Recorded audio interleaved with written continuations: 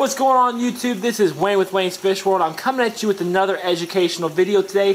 We're going to be talking about the top 10 facts and myths about UV sterilizers or ultraviolet sterilizers. Now, we're going to start this video off with what exactly is a UV sterilizer and why do I need it? Well, why do I need it? I'm going to answer that throughout the entire video.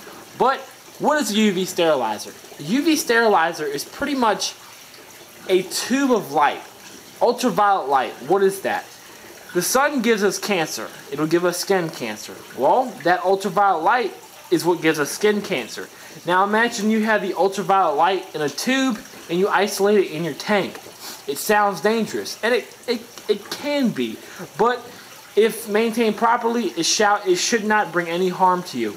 Um, one thing about ultraviolet sterilizers is one, you never want to touch the bulb with your bare hands. You always want to use a glove. The oils from your hand can actually damage the bulb. And two, never look directly at the bulb. It can ruin the retinas in your eye. Now, I'm not telling you if you look at it, you're going to go blind, but don't be dumb. Just look at it in the corner of your eye to see if it's on. So, a UV sterilizer is basically a tube of light, and it comes in many different sizes. Uh, I've seen them come through the smallest of a 4.5 watt all the way up to commercial grade to 400 watts. They might come bigger than that, but honestly, if you're if you're watching this video, you probably don't need anything bigger than a 400 watt UV sterilizer. And if you get anything about that, anything bigger than that, you probably know a lot more than me about them.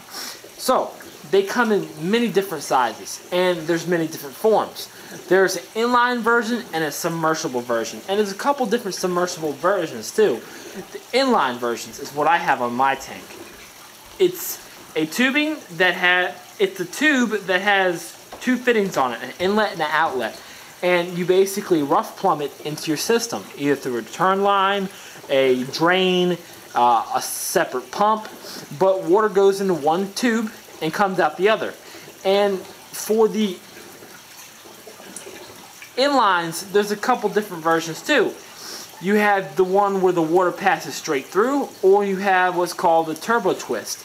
Now, I had the Odyssea's version of the turbo twist for a cheaper price, but does the same thing. And what that means is water spirals around the column of the tube. That way, the light has longer penetration time to hit the uh, the algae or disease or whatever you're trying to hit in your water column. Now, for the submersible ones, there's ones kind of like a submersible heater where it has a little pump on it and it draws water in and shoots it out. And there's types that use a power head and the power head pumps the water through it and then it comes out the UV sterilizers. There's many different types and it's really going to depend on what manufacturer makes it. So, now we know what a UV sterilizer is. We know the uh, types. We know the sizes. So this is the biggest question probably. What's the flow rate I'm going to use with my ultraviolet sterilizer? Well, it's all going to depend. The good thing about ultraviolet sterilizers, you can use them on freshwater tanks, saltwater tanks, and ponds. Now, there's a lot of debating on what size ultraviolet sterilizer you need. Put it this way, guys if an 18 watt UV sterilizer can take care of a pond that's a couple hundred gallons, why do you need a 18 watt sterilizer on a tank that's not even 100 gallons? And, and there is a difference in in tanks and ponds, but when you only need an 18 watt sterilizer for a thousand gallon pond in partial sun, why do you need a 36 watt sterilizer for a 30 gallon system? you really need to look who you're talking to. Is it the manufacturer trying to sell you something? Is it the pet store trying to sell you something? No offense to all the pet stores out there because there are some really great stores out there. Or is it the truth? My debate on that is if you have a 55 gallon, you know, it, it all depends on what you're trying to do. And that's where the flow rate comes through too. So we have to back ourselves up and ask us ourselves, what are we trying to do? Are we trying to kill algae to make the water crystal clear like in this tank? Or are we trying to kill parasites? or try to prevent parasites, or are we trying to do both? Now, if you're trying to kill algae, you kind of your water flow can be faster than for parasites. I mean, it can be faster for algae rather than parasites. And what I mean by that is you don't want to pump too much water too fast through your UV light because if the UV light can't hit the algae in time, it's not going to take an effect. So with ponds, it's a little bit more complex. With tanks, you really don't have to worry about it because it's a smaller system. With ponds, let's put it this way. I have a 36 watt UV sterilizer on my 1,500 gallon koi pond, which is in direct sun all day. And especially in the heat of summer, where sun comes up at like 5.30 and goes down at like 9.30 at night. 36 watts can take care of a, a overpopulated pond. So when I look at that aspect, I don't need that big of a sterilizer on a fish tank. So if you're killing algae, Dr. Foster and Smith has a good link on their page on what you can look at. Uh, it, it all depends on your bio load too, but that's a different topic. Your biological filtration should be able to get it, and you should not get a UV sterilizer to kill an algae problem. You can see there's algae on this rocks because there's nitrogen and phosphates breaking down this tank right now, but there's none in the water column because the UV sterilizer is hitting it. So flow rate, it's debatable. I can ramble. The best way I can answer that for you, if you have a question, comment me what size flow UV sterilizer should I get for my tank? Tell me your aspects, and then I can tell you what size UV light you need and your flow rate, or what are you trying to accomplish by it. Now for parasites, you're going to need more light and less flow. That way the water can hit it longer and it's going to hit it harder. Um, I believe parasites can die off by low watt sterilizers too, but the higher the wattage, the faster it's going to kill it, or anything in general. So, do UV sterilizers actually kill them? Yes, they do. They're not going to kill them. That's let's say if there's a parasite swimming around in my tank right here and he never crosses that overflow which leads down into the drain which goes through the sump which returns to the UV sterilizer then the return pump and then finally hitting that if he's swimming around this tank and he never gets pushed through that UV sterilizer, it's not going to affect him. The UV sterilizer is only going to affect what goes through it. You need to remember that. Like I said, this algae on the glass, that UV sterilizer cannot kill that algae because that rock is not going to pass through my UV sterilizer. If it does, everything's going to break on the system. So, that's another question killing beneficial bacteria. Does a UV sterilizer actually kill beneficial bacteria? bacteria? Let me put it this way. Beneficial bacteria, that is why they tell you get so many pounds of sand, so many pounds of live rock. Same concept in freshwater, brackish water, and pond too. Your surface area, I, I can debate about this all freaking day, and I'm big on this one.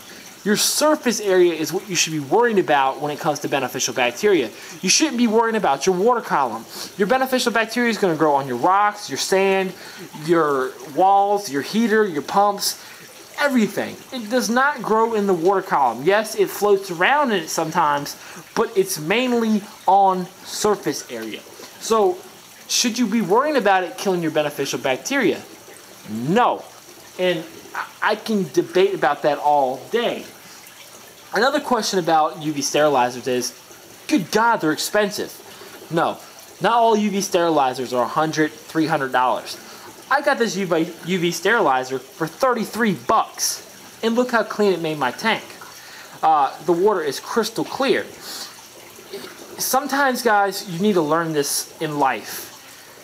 Different companies will make different products. One company can have a child uh, company and they don't have to tell you, and they still make money off that.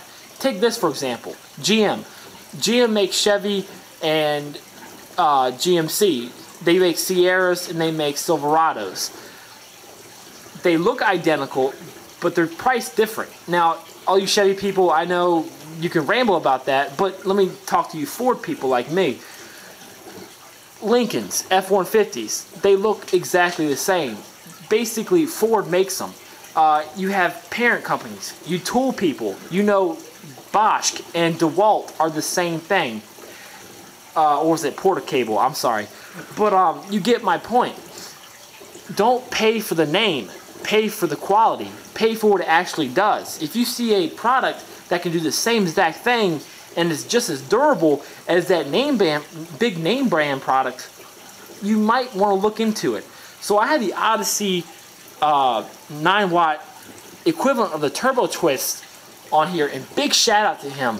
Top dog sellers on eBay, you really need to check him out. I've got three lights from him, T5 high outputs, a heater, and a UV sterilizer from him. I've never had a problem with them. And you can actually see in the uh, Osmosis reservoir right there. That's the old body of the unit. I sent a message and I said, man, I'm not trying to rip you off, but the, uh, the body was leaking. He sent me a new body for free. Big shout out to Top Dog Sellers. Thank you for all the customer service over the years. Big shout out. Um, so, guys, UV sterilizers, they can be rewarding. It's it's only going to do good on your tank. And here's where the big myth comes in. In saltwater, the biggest myth is it's not going to allow your protein skimmers to remove phosphates in the water column. Well, basically what that is, I'm not going to go too in depth with it, but they say the UV light that hits the water column will affect the ions in the phosphate, and the phosphate doesn't break down as as natural, and then it doesn't even get sucked up by your skimmer. If you have a UV sterilizer that can do all that, you have some high power, probably 400 watt plus UV sterilizer, and guys, don't worry about that. Never have I actually heard an experience. Now, correct me if I'm wrong. If you have a problem with phosphates due to your UV sterilizer, for one, if that you're having a problem with that, you should probably take it off. But I've never actually heard of it. It's just a rumor. Some people claim it. If you've actually had proof of it happen, drop it in the comments. That way people can learn. Because that's the best thing, guys. The best way we can share, you know, that's knowledge. Knowledge is free. We need to share it. That way we can prevent loss. We can enjoy the hobby or pet keeping longer. Knowledge is the best thing we can spread around, and that's why I make videos. And second thing, the biggest rumor in freshwater plant tanks with UV sterilizers is it'll react with your fertilizers and mess your water system up. Well, let me tell you this. Fertilizers are already present, present in your water column. The fertilizers you introduce in your tank are just more concentrated versions. There are there is iron, there is phosphorus, there is potassium, there is zinc, copper. Eh, all those micro macronutrients, they're already present in your water, in your tap water. But when you put them in your tank, they're more concentrated. So if the UV sterilizer was going to react with them, they would already react with the ones in your tap water. Guys, go buy yourself UV sterilizers. It only can do good do the research, have a plan, have dedication, and just have fun, guys. If you have any questions, let me know. If you have suggestions on next videos of the top 10 things you need to know, let me know. Drop it in the comments, hit me with a message, comment, rate, subscribe. I'll see you guys next time. Later.